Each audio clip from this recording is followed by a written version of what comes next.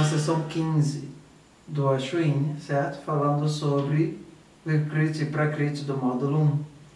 E ah, já temos aí vários nossos ah, é, vídeos na, falando sobre Dharma, falando sobre alimentação para o meu doce, etc. e tal, com o mote do título do vídeo ah, Prakriti é o céu da Ayurveda?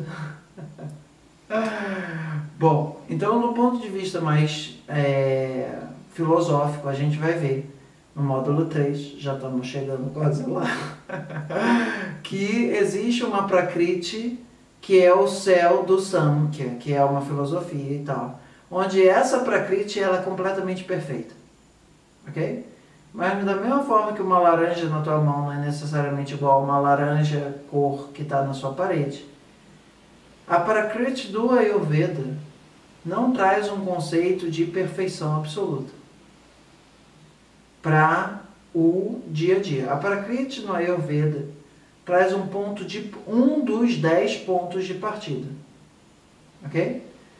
Então esse ponto de partida ele significa, por exemplo, na, no exemplo que a gente estava comentando, que uma pessoa de constituição kapha-pita com um alto desequilíbrio de vata, ele vai ser tratado diferente de uma pessoa kapha-pita, ou desculpa, pita-vata com alto desequilíbrio de vata. Ok? Suponha que chegam uma, duas pessoas na clínica no mesmo dia lá e tal, e as duas estão com um transtorno de ansiedade, síndrome do pânico, etc. Ok? Para a visão ocidental, essas duas pessoas têm a mesma doença. Ok? E digamos que elas trabalham no mesmo escritório, trabalham viajando juntos, a rotina delas é muito parecida, etc. e tal. Ok? Tem uma idade parecida, é do mesmo sexo, é tipo irmão gêmeo, praticamente. Ok? Só muda que uma pessoa é muito mais naturalmente fina do que a outra o irmão gêmeo aqui já não seria uma boa. Poderia ser gêmeo bivitelino, certo? Bivitelino do mesmo sexo, estamos botando todos os outros parâmetros o mais próximo possível, tá? Mesmo com toda a rotina sendo igual, etc e tal, essas pessoas por terem, atenção, uma prakriti diferente, faria com que o tratamento, atenção para essa frase, segura ela, em um contexto de panchakarma, fazer com que, de repente, o tratamento que uma pessoa segue é, é, seria recomendado é diferente do outro. Ok? Veio uma pergunta aqui no chat que é: os fatores mais importantes para determinar a constituição de uma pessoa seria estrutura física e meta, ou metabolismo? Eu gravei recentemente, e aí, Namastê, cadê o teu capa? Me diz aí. Já está publicado no canal. E a ideia é, pelo menos no Ayurveda indiano, os dois fatores, eh, talvez três, mais importantes para você falar de uma prakriti de uma pessoa, via de regra, é como que é a sua digestão, como que é o seu cocô e como que é o seu sono. Quando a gente estava fazendo Panchakarma lá na Índia, a gente várias vezes via vários médicos diferentes, que a gente já fez Panchakarma em vários lugares diferentes, perguntar essas três mesmas coisas. Ele falou, opa, eu acho que eu vi o gatinho, o relógio ali fez Então a ideia central é, para você determinar uma constituição, atenção, às vezes a pessoa ela está vateada desde nascença. Por mais que aquela constituição lá do esperma com um ovócito tenha formado um óvulo e aquilo teoricamente no Ayurveda seja a constituição em si, certo? Teoricamente, nos três primeiros meses do Ayurveda, a alma ainda está observando se ela vai encarnar naquele corpo ou não. Ok? Então, esse processo de encarnação no Ayurveda, ele tem um certo, entre aspas, assim, um certo grau de descolamento, que nesse momento pode acontecer abortos espontâneos, etc. e tal. Depois desse período, que digamos assim, é aquele período que a gente chama de resguardo, para a pessoa não perder o, o filho, etc., que é mais fácil da pessoa perder, esse é a primeira camada de Prakriti que a pessoa ainda nem nasceu. Depois a gente tem o período gestacional, que são os outros, sei lá, seis meses, ok? Aí depois a gente tem os seis primeiros meses como uma nova camada de Prakriti, depois o primeiro ano onde termina a lactação, ou até onde termina a lactação, depois até os 8 anos de idade, mais ou menos, depois até uns 15, 16 anos, mais ou menos, e até o último siso nascer. Isso tudo são diferentes camadas que uma pessoa vai botando numa Prakriti. Ok? Ainda que ela, aquela Prakriti original, lá a primeira camada do bolo, esteja sendo ah, importante, existem vários outros fatores que a gente vai botando nessa conta, certo? Quais são esses outros nove fatores que a gente vai botando na conta quando a gente está avaliando um processo de atenção Chikitsa. Chikitsa significa tratamento. Ok? Um deles é a Prakriti. Mas não é o primeiro. Pelo menos de, nessa frase, que é uma frase que quando a gente estava estudando com Sanjay já há uns dois, três anos atrás. Isso foi meio que o nascimento energético do Ashwini. Quando ah, a gente fazia aula pelo Zoom com ele também da Índia, um monte de gente ao redor do mundo, Europa, Estados Unidos, Argentina, etc. E aí ele pegou e jogou isso na frente e falou, olha, o tecido que é ah, mais frágil da pessoa é um fator importante. Eu não estou entrando nos detalhes todos disso, isso a gente vai ver lá no módulo 4, mas isso é o Dusha, ok? Está lá no PDF de vocês já. É? Você está respondendo a pergunta ainda. Estou respondendo a pergunta do se o Prakriti é o paraíso, ok? Uma delas é o Dusha é, digamos assim, a nossa predisposição genética em algum grau para ter um tecido mais frágil, etc. Tudo bem que isso, o conceito perfeito é de Kavaigunya, mas vai lá. O outro é onde que essa pessoa mora. Atenção, onde que a pessoa mora, que é o deixa, muitas vezes é mais importante para você fazer uma linha de tratamento do que exatamente a prakriti dela. O outro é o bala. Quanto que essa pessoa está forte? Se essa pessoa acabou de chegar na Índia viajou e está num puta jet lag, o quanto você vai poder fazer de Panchakarma, que ela já acabou de fazer um mês de peregrinação na Índia, é muito diferente se a pessoa está saudável ali e forte para isso. Ok? Kala. Qual é o tempo que a pessoa está fazendo essa, esse Panchakarma? Está no inverno? Está no verão? Qual é a idade que essa pessoa está? Tudo bem que isso ainda vai aparecer como vai errar, mas que seja. Kala que recebe muito o aspecto da estação que a pessoa está chegando. Às vezes ela chega na Índia no verão e as clínicas mais tradicionais não funcionam no verão, porque teoricamente no verão não é uma boa época para você fazer panchakarma, ok? Anala. Anala é qual é o estado do estado, qual é o estado do fogo digestivo do Agni na, da pessoa naquele tempo.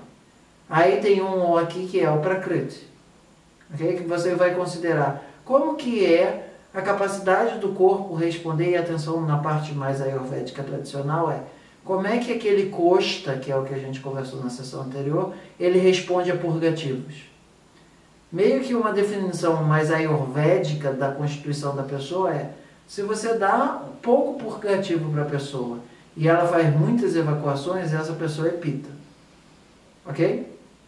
Ela tem um mridu costa. Se você tem que dar muito purgativo para essa pessoa para ela funcionar, isso é um costa vata, um cara costa, duro. E se você tem que botar uma quantidade média, madhyama, esse costa é kafa. Então, do ponto de vista do panchakarma, muito da prakriti da pessoa tem a ver com quando você vai fazer uma purgação intestinal dela, veretina e tal, o quanto que você tem que ir forte no purgativo. Ou, melhor dizendo, o quanto que aquele corpo é sensível a um estímulo purgativo. Ok? Outro é o Vayaha, ou vaia, que é a idade da pessoa. Ok? Uma pessoa fazer um panchakarma com 30 anos, a mesma pessoa fazendo com 60 anos, não vai ser a mesma coisa, por mais que ela continue com todos os outros fatores iguais, relativamente. O outro é o sattva, que é como é que está o estado mental dessa pessoa nesse momento. Ela vai ser capaz de, é, digamos, aturar as asperezas do tratamento, por exemplo. Teve um tratamento que a gente fez ah, lá no hospital mais roots, que a minha esposa ficou, sei lá, foi o quê? Uns 15 dias no escuro, né? Ficar 15 dias no escuro não é um negócio tão trivial assim, ok? Você precisa estar com uma mente pronta para encarar isso. Ah, isso é o sattva, o outro é o satmia, que é quanto que a pessoa tem por exemplo, o costume de receber a bianga dos indianos passando assim na sua costela, etc. E tal. Ou naquela maca dura de madeira, etc. O quanto que a pessoa vai ficar chiando, ah, eu não estou conseguindo receber massagem aqui, etc. E tal. Esse satmia não é só para o que você come, mas também como que os teus tecidos respondem, ok? Tata Aharam, como é que é que a pessoa está acostumada a comer? Então, por exemplo, às vezes uma pessoa que está na Índia ah, comendo um monte de comida apimentada, se parar de comer uma comida apimentada, ela não consegue digerir aquilo. Às vezes a gente comendo a mesma comida apimentada que ela está acostumada a comer, não consegue digerir aquilo porque aquilo está muito apimentado. Tatá é uma palavra, ahara aqui é outra. E a vasta é o estado geral desse conceito como um todo que você está avaliando 10 fatores separadamente, prutak é separadamente, para você juntar isso tudo e você falar considerando isso, considerando aquilo, considerando isso, considerando aquilo outro, considerando aquilo lá e considerando aquilo lá também, e aquilo outro também, aquilo lá também, aquilo, aquilo, aquilo, aquilo, a gente vai fazer esse programa de Panchakarma para você. Ok? Então entenderam que a Prakriti ela é um fator importante para você cuidar no Tikitsa, mas não necessariamente o ponto central para você voltar ao paraíso. O Sanjaya ele falava uma frase que era muito interessante, que era assim: Quero ver você trazer uma pessoa na prakriti dela aqui na minha frente. E ele falava assim: no momento que você achar ela, se você achar, de você trazer ela, de você achar ela até trazer aqui, ela já saiu da prakriti. Ou seja, o conceito de um movimento de Vata Pitta Kapha é muito dinâmico no corpo. E não depende do da tua prakriti você estar tá saudável. Depende, tem um outro sloka que é clássico, talvez você já tenha escutado isso em algum vídeo. Samadosha, Samagnischa, Samadatu Malakriya, Prasannatma Indriyamana, Swasthaitya Ibidyate. A tua saúde depende do estado do teu Agni, no estado do Vata Pitta Kapha, do estado das suas excretas, do quanto que a tua mente está translúcida e os teus sentidos estão fazendo um bom trabalho em manter você acordado em contato com a tua alma. Ou seja, você está em paz consigo mesmo. O conceito do Ayurveda de saúde, isso tem lá, vocês já devem ter visto no outro, o conceito clássico de saúde do Ayurveda, não depende da Prakriti. Depende do estado dinâmico de dosha, no contexto Vata Pitikafa, Dato e Mala. Ok? Então essa ideia do tipo, vou estar saudável quando voltar ao paraíso da Prakriti, ah, eu preciso seguir a minha rotina de Vata porque eu sou de Prakriti Vata, muitas vezes dá pau. Certo? Pergunta. Por que, que dão tanta importância? Por que, que dão tanta importância? ah, a antropóloga perguntou, vai uma resposta antropológica. Pode ser que pelo Ocidente precisar de um paraíso perdido, porque a gente foi expulso dele, a Prakriti ela chega, pelo menos de um ponto de vista antropológico, como uma coisa assim, oh, eu vou voltar ao paraíso. Hum. Todos os problemas acabaram quando eu voltei à minha Prakriti, certo? Só que no momento que você chegou lá, ela escorregou debaixo de você, você já não estava mais lá nela de novo, certo? Ok? Não estou te dizendo que você, você conhecer a sua Prakriti não tem importância. Só que veja o contexto dos 10 fatores que a gente colocou ali. Finalmente temos um vídeo sobre isso. Graças a Devanta. Ah, Para falar sobre esses 10 fatores. Ok? Muito bem.